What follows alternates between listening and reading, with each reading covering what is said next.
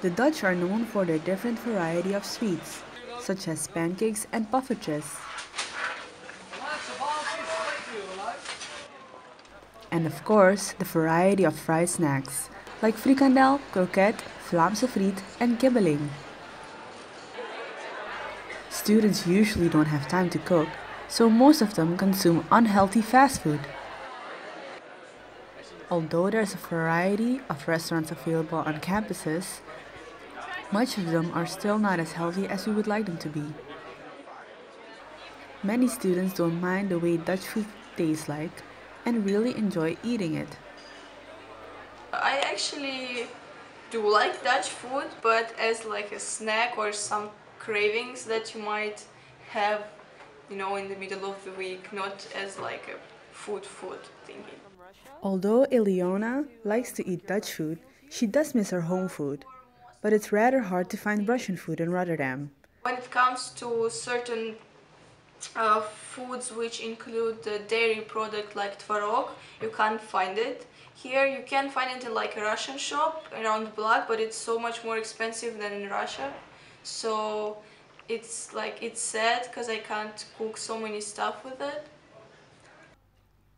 But there are still some students that don't like the Dutch fried food and snacks. Yang is one of many other international students that does not enjoy eating Dutch food. I, although I've spent some times living here, I still don't get used to the uh, Dutch food. Uh, typical Dutch street food like croqueta, it's basically you mashed everything and you covered flour and you fry it. So I find it like really unhealthy to eat fried food all the day.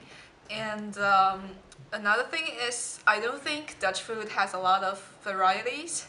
Um, well, for me, Dutch food is basically neither mash the hell out of something or boil the hell out of something or deep fry the hell out of something.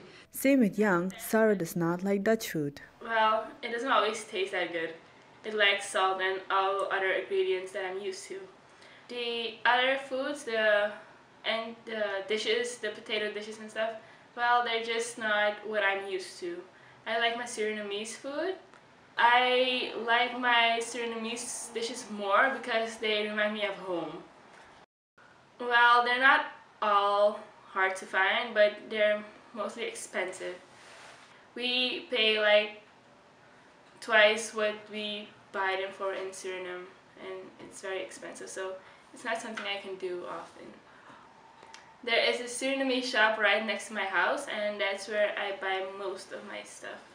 Uh, there's a restaurant in The Hague that I like going to. They actually make real, serve real food, real Surinamese food. But um, it's far and uh, it's expensive, so I don't often eat there.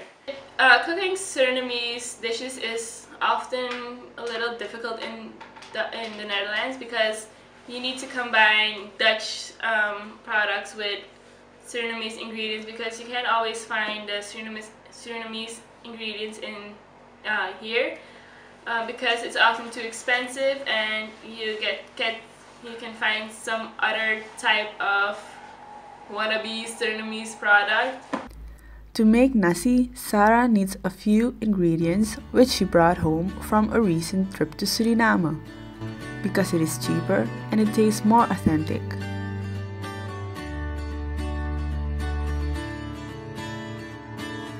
So we can see, international students have a hard time dealing with Dutch food.